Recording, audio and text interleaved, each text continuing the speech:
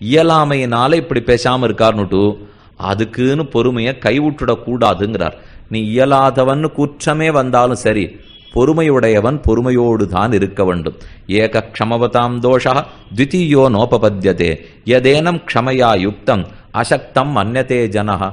க்ஷமையோட கூடியவன் பொறுமையோட இருக்கிறவனை பார்த்து இவன் சக்தி இல்லாதவன்னு ஜனங்கள் மருண்டு நோக்கும். அதை கண்டு நாம கவலைப்படப்படாது. பொறுமையை என்னைக்கும் பூமாதேவியை போல விடாமல் இருக்க வேண்டும். பூமி இருக்காளே என்ன அவளால் நினைச்சா பண்ண முடியாது? நாம் இப்போ இந்த இடத்துல உட்காந்துருக்கோம் இத்தனை நாற்காலி போட்டு இத்தனை பேர் உட்காந்துருக்கீங்களே தப்பித்தவர் ஒரு சிறு விரிசல் இங்கிருந்து ஒரு ஐம்பது மைல் தொலைவில் பூமியில் விழுந்ததுன்னு எங்கேயானு கேள்விப்படட்டும்.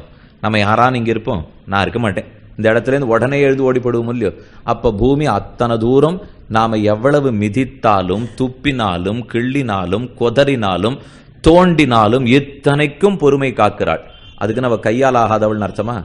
ஒரு நிமிஷம் பூமி பிளந்ததுன்னா லட்சம் ஜனங்க உள்ள போயிடுறார்கள்ங்கிறதை பார்த்தோம். ஒரு தடவை ஆழிப்பேரலை அதிகமாக வந்ததுன்னா எத்தனை லட்சம் போகும்னு பார்த்தோம். ஆனால் இது இத்தனையும் அந்த சின்ன கரையை தாண்டி சமுத்திரம் ஒரு நாள் வீசுறதில்லை. ஏன் அதுக்கு என்ன கையால் ஆகாதனால வீசாத இருக்கா? இந்த பூமி ஒரு வீரல் விழுந்துடுறதே இல்லை. அதுக்கு இயலாமையினாலேயா இருக்கு? பொறுமையாலே இருக்கிறது. பெருமான் நமக்கு பொறுமைங்கிறத கொடுத்துருக்கார். அதை வைத்துக்கொண்டு மக்களை ரட்சிப்போம்னு தோன்றதே தவிர நாம எத்தனை குற்றம் பண்ணாலும் அதை எடுத்துக்கிறது இல்லையோ இல்லையோ. சுற்றுப்புறச் சூழலை ரெண்டு விதத்தில் நாம் நோக்க வேண்டும். ஒன்று ஆரோக்கியத்துக்கு அது தேவைன்னாலும் நோக்கலாம். அல்லது மத ரீதியாக நோக்கணும்னால் பூமி பிராட்டி பேரில் அபச்சாரப்படக்கூடாதுன்னாலும் நோக்கலாம்.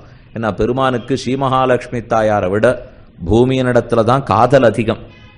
அவர் சயனிக்கிறதா இருக்கட்டும் அமர்றதா இருக்கட்டும் நிற்கிறதா இருக்கட்டும் அளக்கிறதா இருக்கட்டும் உண்பதா இருக்கட்டும் உமிழ்வதா இருக்கட்டும் எல்லாமே பூமி பிராட்டி தானே? அவன் உண்பது உமிழ்வது அளப்பது நடப்பது இருப்பது கிடப்பது இத்தனையும் பூமி பிராட்டிக்கு மேலே. ஆனால் ஸ்ரீதேவிக்கு ஒரு சின்ன பதவி. இந்த நெஞ்சில் இரு. அப்படின்னு சொல்லி ஓரமாக ஒதுக்கி விட்டுட்டார். ஆனால் பூமி பிராட்டி இடத்துல தானே இத்தனை ஆசையம் பெருமானுக்கு தன்னுள் கறக்கும் உமிழும் தடம் பெருந்தோள் ஆறத் தழுவும். பாரென்னும் மடந்தையை மால் செய்கின்ற மால் ஆர் காண்பாரே என்ன ஆழ்வார் சாதிக்கிறார். அந்த பூமாதேவியினிடத்துல நாம எவ்வளவு மதிப்போட நடந்துக்கணும்? இதுல ரெண்டு மூணு அரசாங்கத்துறை இருக்கு. ஒன்று தொலைபேசி துறை இன்னொன்னு மின்சாரத்துறை இவா ரெண்டு பேருக்கும் பூமி பிராட்டிக்கு நெருக்கம் அதிகம். இவர் முடிச்சார்னா அடுத்து அவர் அவர் முடிச்சார்னா அடுத்து இவர். இவா ரெண்டு பேரும் கிளறத்துக்கு இருக்காளே தவிர மூடுற வேலையை அவ பண்றதே இல்லை. அது மூணாவது துறை பேருந்து துறை.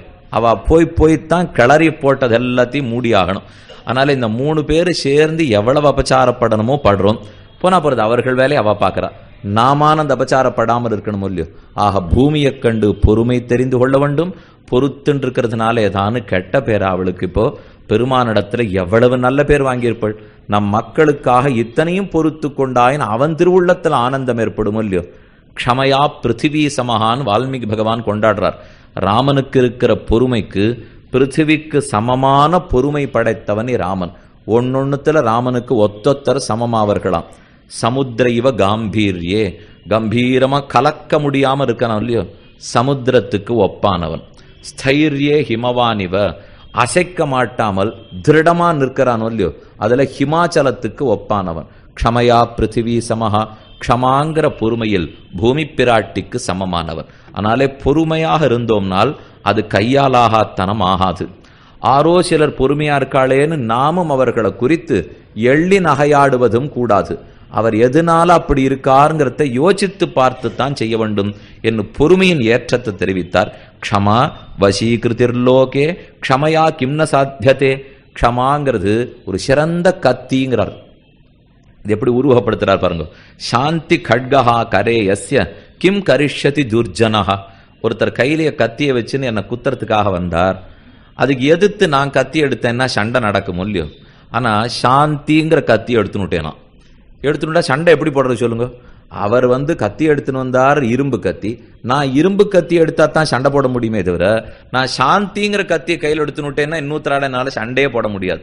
அதுக்கு திருஷ்டாந்தமும் சொல்றார் ஆத்திருனே பதித்தோ வன்கிகி ஸ்வயமேவ உபசாமியதி. ஒரு நெருப்பை எடுத்து போடுறோம். அந்த நெருப்பு நிறைய இலை தழகள் வளர்ந்திருக்கிற இடம். நிறைய புல்லு மண்டி இருக்கிற இடத்துல நெருப்பை போட்டில்னா சர சர சரான்னு பிடிச்சிருந்து காட்டு தீயா பரவும். அதே ஒரு துளி புல் இல்லாத இடத்துல நெருப்பு போட்டிடனா பரவவே பரவா சொல்லியோ. ஒருத்தர் நம்மளை எதிர்த்து வருகிறாங்கிறது நெருப்பு வரா போலே. பொறுமையின்மைங்கிறது புல்லு வளர்ந்துருக்கா போலே. எங்கிட்ட பொறுமையின்மைங்கிற புல்லு வளர்ந்துருந்தா தான் எதிர்த்து வந்து நெருப்பு போடச்சே ரெண்டு பேரும் பத்தின்னு எரிவோம். ஆனால் எங்கிட்ட பொறுமைங்கிறது இருந்துடுத்துன்னு வச்சுங்க. அப்போ புல்லில்லா தரையில் ஒருத்தன் விரோதித்து வந்தா போலே. ரெண்டு கை தட்டினா தான் ஒலிக்கும்னு சொல்கிற இல்லையோ. அதனால் பொறுமையோடு காத்தோம்னால் தானே எதிர்த்து வருபவர் புரிந்து கொள்ளுவர். ராமன் பொறுமையோடு இருந்தான் ஏன் இன்று போய் நாளவான்னு சொல்ற அளவுக்கு பொறுமை காட்டுட்டானே தன்னுடைய பிராட்டியை பிரித்து இத்தனை துன்பங்களை இடத்த ராவணனிடத்திலே கூட போயிட்டு வா. நீ ரொம்ப சமப்பட்டிருக்கிறாய் உன் வில் போயிற்று வாழ் போயிற்று குதிரை போயிற்று. இன்னைக்கு நீ போய் திரும்பி வான்னு சொன்னான் இல்லையோ? இதை எந்த குணத்திலே சேர்ப்பேன்னு குரத்தாழ்வான் ரொம்ப ஆச்சரியமா தெரிவிக்கிறார். கோயங்குணா கதரகோட்டி கதக்கியான் வா. கஸ்யஸ்து தேர் பதமஹோ பத கஸ்ய பூமிஹி. ஏ பகவன் இந்த குணத்தை நான் என்னன்னு சொல்லுவேன்.